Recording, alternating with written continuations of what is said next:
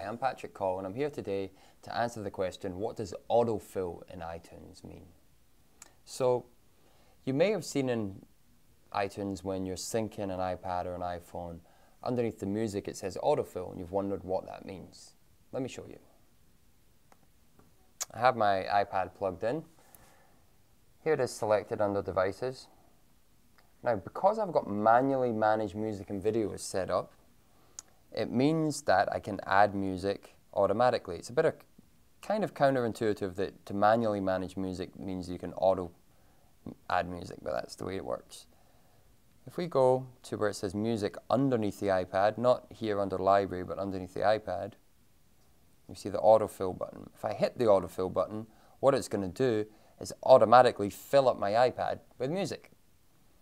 If I've already put music on there, it will just fill up the remaining space.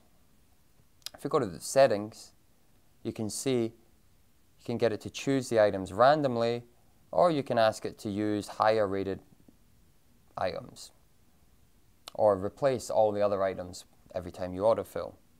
Then you can reserve space for disk use as well. That's basically autofill. It's just getting iTunes to pick songs for you and fill up your device with them.